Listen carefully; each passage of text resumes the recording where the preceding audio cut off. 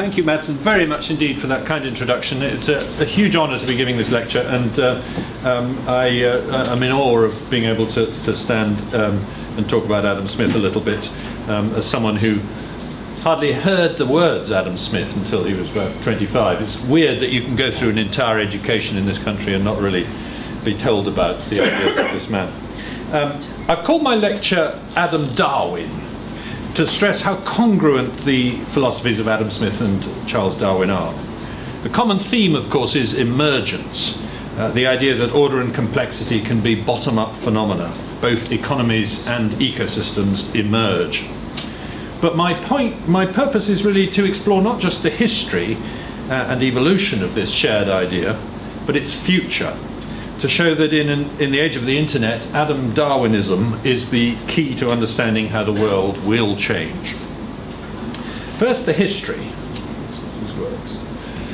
Darwin's debt to the political economists is considerable. He spent formative years in Edinburgh among the ghosts of Hume and Hutcheson and Ferguson and Smith.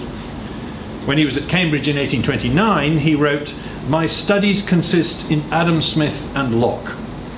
At his uncle Josiah Wedgwood's house in Staffordshire, he often met the lawyer and laissez-faire politician Sir James Mackintosh, whose daughter married Darwin's brother-in-law and had an affair with his brother. On the Beagle, he read the naturalist uh, Henry Milne Edwards, uh, who took Adam Smith's notion of the division of labour and applied it to the organs of the body. After seeing a Brazilian rainforest, Darwin promptly reapplied the same idea to the division of labour among specialised species in an ecosystem. Quote, the advantage of diversification in the inhabitants of the same region is in fact the same as that of the physiological division of labour in the organs of the same individual body, a subject so well elucidated by Milne Edwards. Back in England in the 1830s, through his brother Erasmus, Darwin fell in with the radical novelist Harriet Martineau, who had shot to fame because of her series of short fictional books called Illustrations of Political Economy. These were intended to educate people in the ideas of Adam Smith, whose excellence, she once said, is marvellous. So much time did Erasmus and Charles Darwin spend with Harriet Martineau that their father worried that one of them might marry this firebrand feminist the daughter of a ruined Norwich cotton manufacturer who lived by her pen. Fortunately for Robert Darwin, who wanted a more conventional daughter in law, Charles was astonished to find out how ugly she is. Although I don't think she looks too bad in this picture. Whereas Erasmus was not the marrying kind. I believe it was probably at Martineau's suggestion that in October 1838, Darwin came to reread Malthus, a person with whom Martineau was on very close terms, and of course to have his famous insight that death must be a non-random and therefore selective force. Parenthetically, it's worth recalling the role of anti-slavery in bringing Martineau and Darwin together. Darwin's grandfather, Josiah Wedgwood, was in effect one of the leaders and organisers of the anti-slavery movement, a friend of Wilberforce and the maker of the famous medallion Am I Not a Man and a Brother, which was the emblem of the anti slavery movement. Charles Darwin's aunt Sarah gave more money to the anti slavery movement than any woman in Britain. Darwin had been horrified by what he called the heart sickening atrocities of slavery in Brazil. So abolition was sort of almost the family business. Meanwhile, Harriet Martineau had just toured America speaking against slavery and had become so notorious that there were plans to lynch her in South Carolina. Today, to a bien pensant intellectual, it might seem surprising to find such a left wing cause alongside such a right wing enthusiasm for markets. But it should not. So long as the shadow cast by top down determinism of Karl Marx, with his proposal that the state should be the source of reform and welfare, that it's often forgotten how radical the economic liberalism of the political economists seemed in the 1830s. In those days, to be suspicious of a strong state was to be left wing, and if you'll forgive the pun, quite right too. Today, generally, Adam Smith is claimed by the right, Darwin by the left. In the American red states, where Smith's emergent decentralized philosophy is all the rage, Darwin is often reviled for his contradiction of dirigiste creationism. In the average British university, by contrast, you will find fervent believers in the emergent decentralized properties of genomes and ecosystems who nonetheless demand dirigiste policy to bring up the order to the economy and society. Yet, if the market needs no central planner, why should, need, why should life need an intelligent designer, or vice versa? Where Smith has defen defenestrated Leviathan, Darwin defenestrated God. Even in this country, I find myself quite lonely in admiring both Smith and Darwin. Ideas evolve by descent and modification just as species do, and the idea of emergence is no exception. Darwin at least partly got the idea from the political economists, who got it from the empirical philosophers. To put it crudely, Locke and Newton begat Hume and Voltaire, who begat Hutcheson and Smith, who begat Malthus and Ricardo, who begat Darwin and Wallace. Darwin's central proposition was that faithful reproduction, occasional random variation, and selective survival can be a surprisingly progressive and cumulative force. It can gradually build things of immense complexity. Indeed, it can make something far more complex than a conscious, deliberate designer ever could. With apologies to William Paley and Richard Dawkins, it can make a watchmaker. Each time a baby is conceived, 20,000 genes turn each other on and off in a symphony of great precision, building a brain of 10 trillion synapses, each refined and remodeled by early and continuing experience. To posit an immense intelligence capable of comprehending such a scheme rather than a historical emergent process is merely to exacerbate the problem. Who designed the designer? Likewise, as Leonard Read pointed out, each time that a pencil is purchased, tens of thousands of different people collaborate to supply the wood, the graphite, the knowledge, and the energy without which, without any one of them knowing how to make a pencil. Says Smith, if you like, this came about by bottom up emergence, not top down dirigism. In both cases, nobody's in charge. And crucially, nobody needs to understand what's being done. Now, so far, I'm treading a fairly well trodden path in the steps of Herbert Spencer, Friedrich Hayek, Karl Popper, and many others who have explored the parallels between evolutionary and economic theory. But the story has grown a lot more interesting in the last few years, I think, because of developments in the field of cultural and technological evolution. Thanks especially to the work of three anthropologists, Rob Boyd, Pete Richerson, and Joe Henrich, we are beginning now to understand the extraordinary close parallels between how our bodies evolved and how our tools and rules evolve. Innovation is an evolutionary process. That's not just a metaphor, it's a precise description. I need you to re examine a lot of your assumptions about how innovation happens, to disenthrall yourself of what you already know. First, innovation happens mainly by trial and error. It's a tinkering process, what the molecular biologist Francois Jacob called bricolage. And it usually starts with technology, not science, by the way, as Terence Kealey has shown. The trial and error may happen between firms, between designs, between people, but it happens. Here's my favorite example. If you look at the tail planes of early aeroplanes, there's a lot of trial and error. There's a lot of different designs being tried, and eventually uh, one is decided. It may not be quite as random as in genetic mutation, but it turns out that that does not matter. Here's the key paper by Henrich and the others, uh, which they make the point that even with semi-random uh, um, uh, mutation uh, in culture, you actually can get selection happening very quickly. Using mathematical models, um, uh, they make it clear that partial randomness is all that natural selection needs to start tinkering. In his excellent book, Adapt, Tim Harford, runs through some fine examples from the pacification of Iraq to the design of computer games of how much better innovation works when we embrace rather than reject this, when we let lots of different versions bloom and pick the one that works. Harford's thesis is that trial and error is a tremendously powerful process for solving problems in a complex world, while expert leadership is not. In other words, intelligent design is just as bad at explaining innovation as it is at explaining evolution.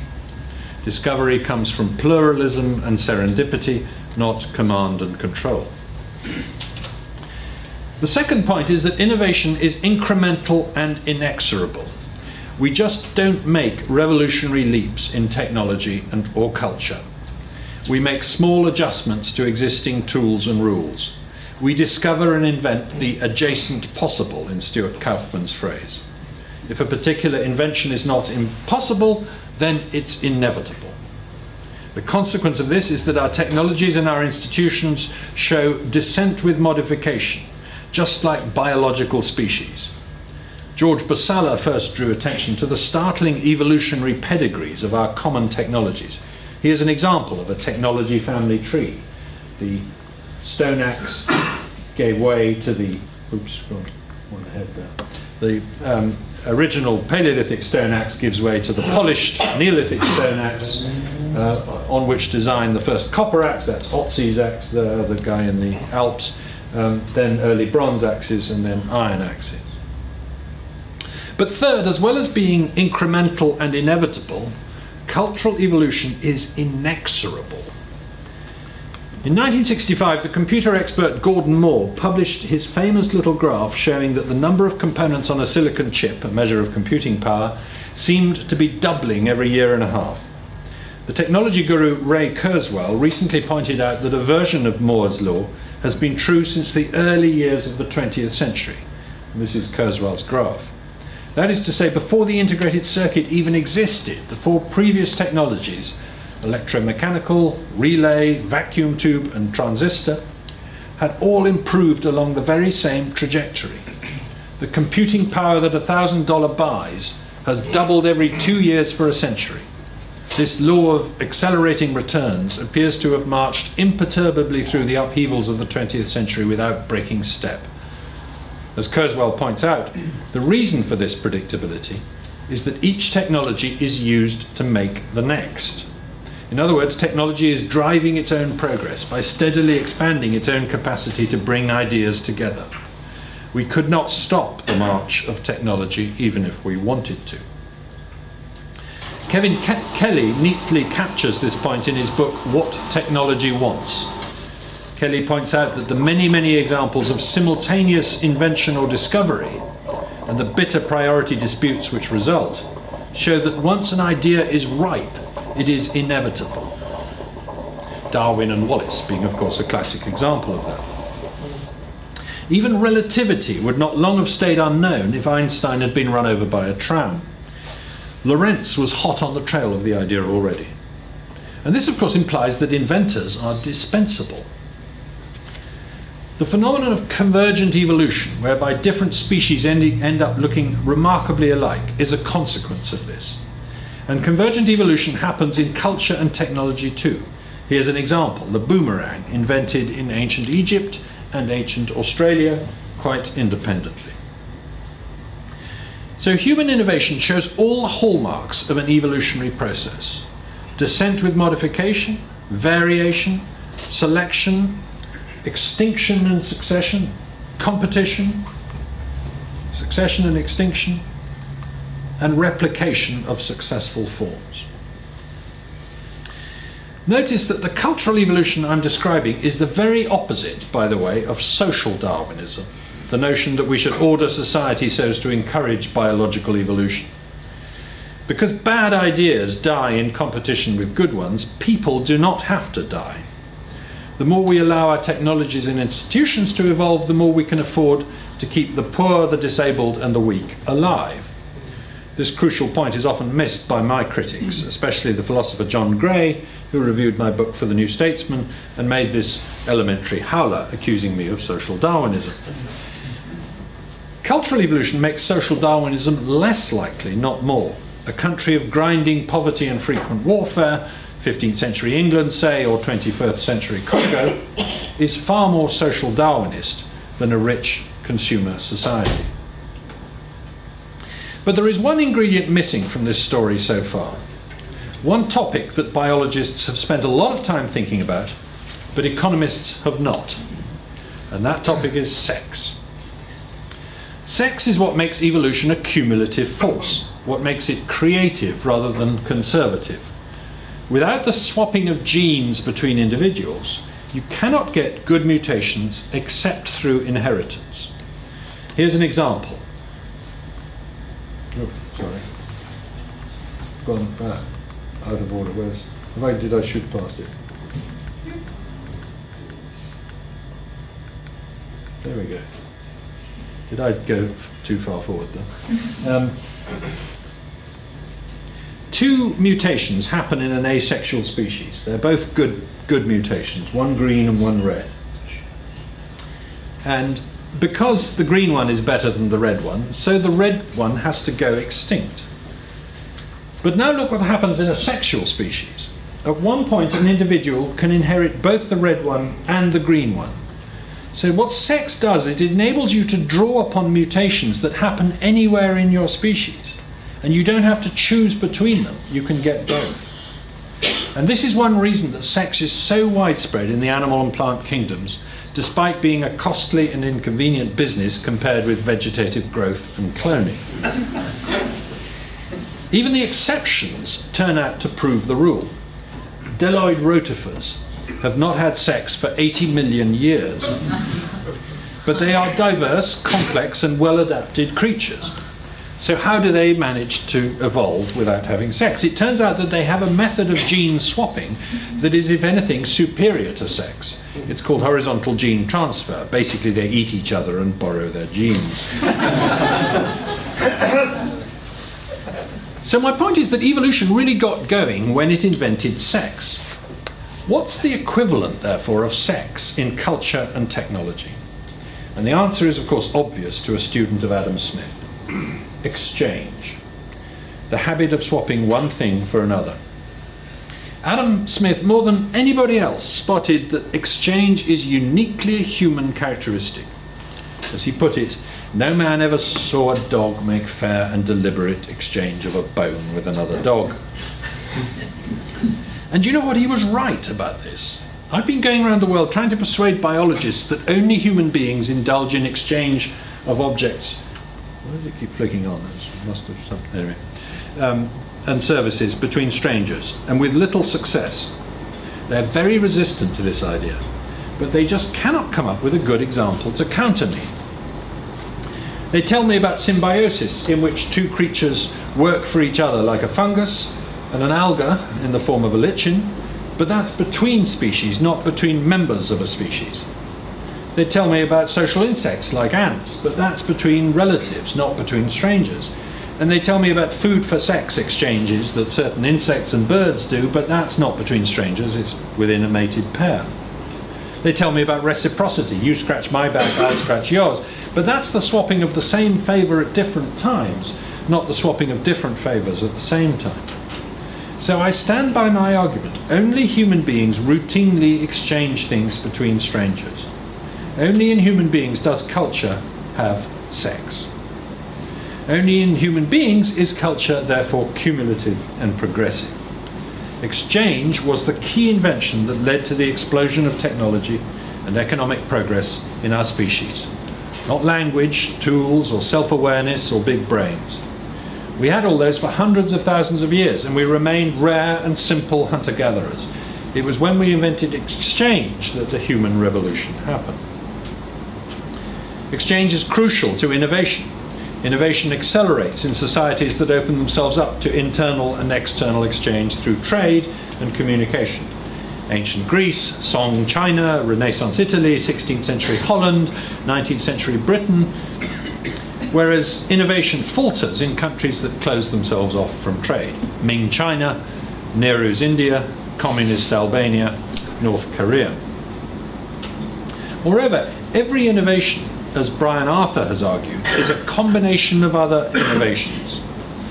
As L.T.C. Rolt, the historian of engineering, put it, the motor car looks as if it was sired by the bicycle out of the horse carriage.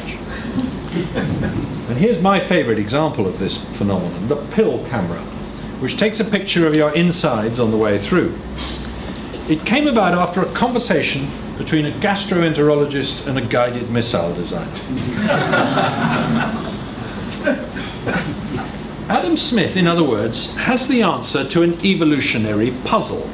What caused the sudden emergence of behaviorally modern human beings in Africa in the past 100,000 years or so? In that surprisingly anthropological first chapter of The Wealth of Nations, Smith saw so clearly what was special about human beings was that they exchanged and specialized.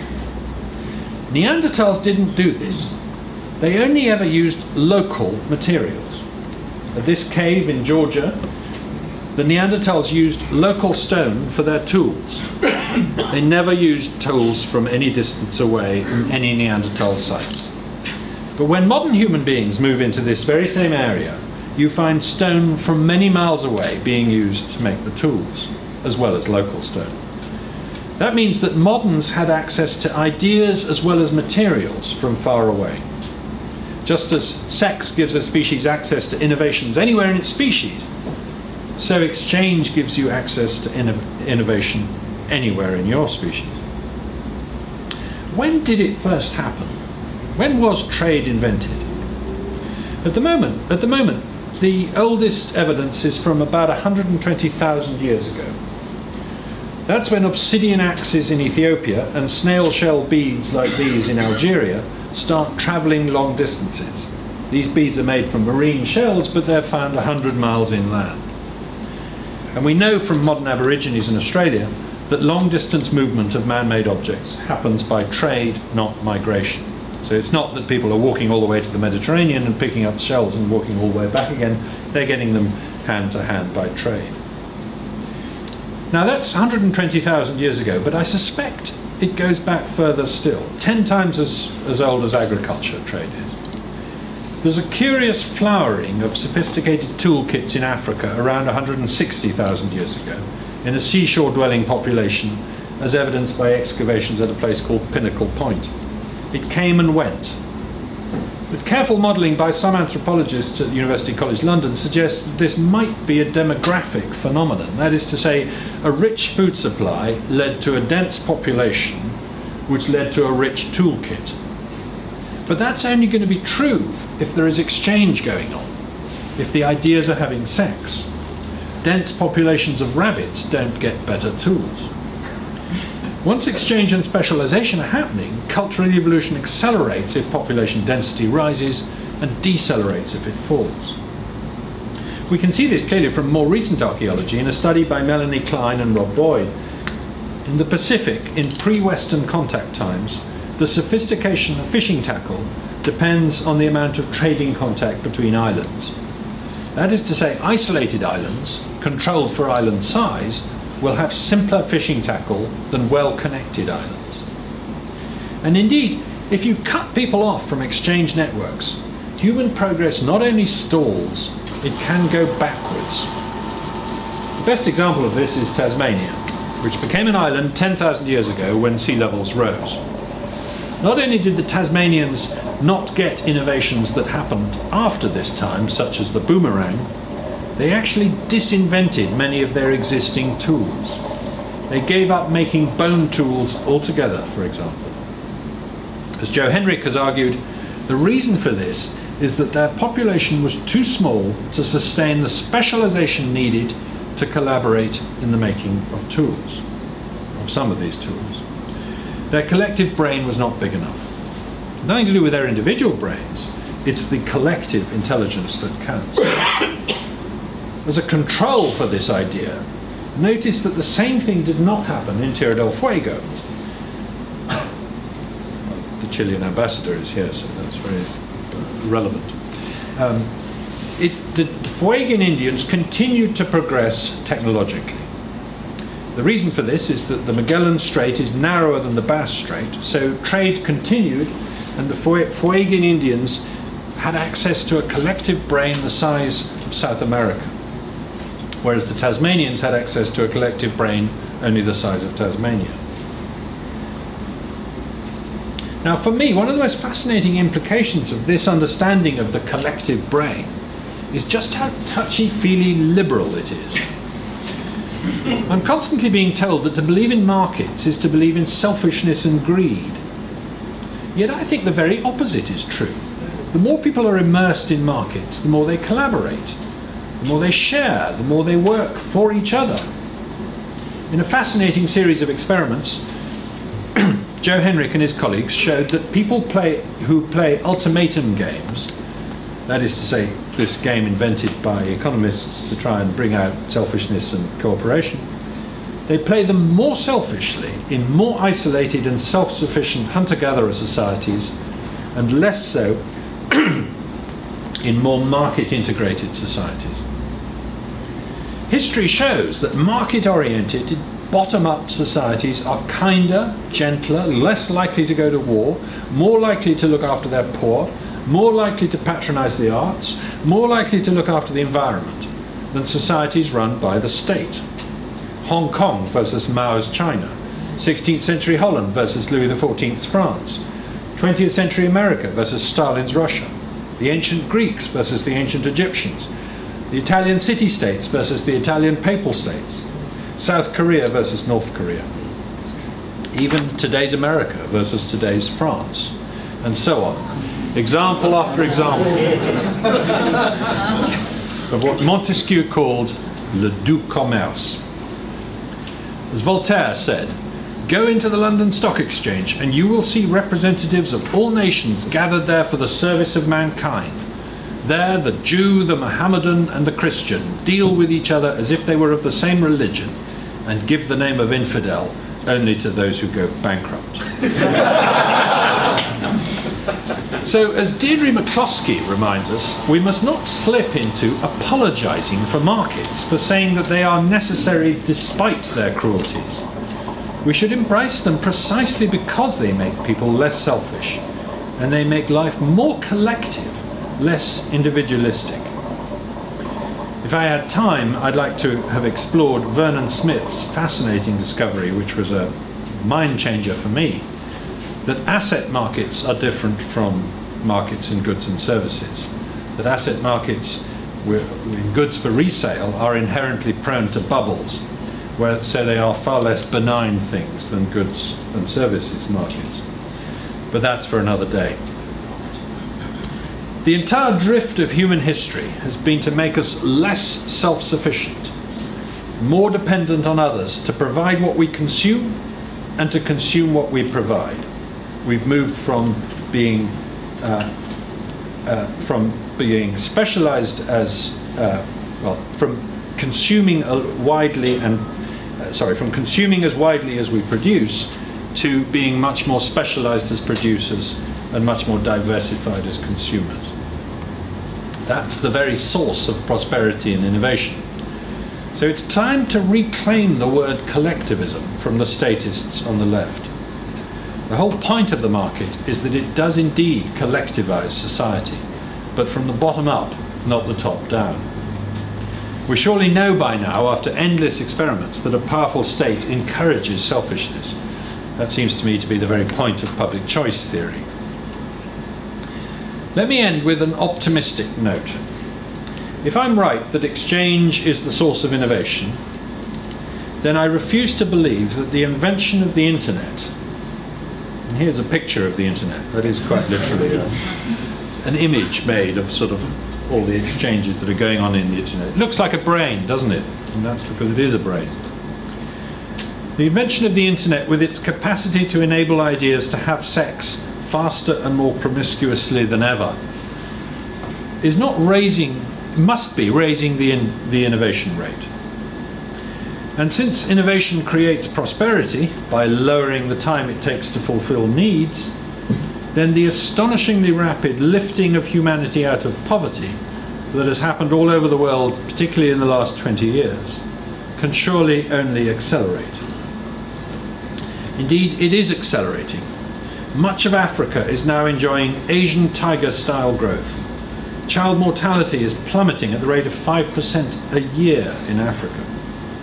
In Silicon Valley recently, Vivek Wadhwa showed me a $35 tablet computer that will shortly be selling in India.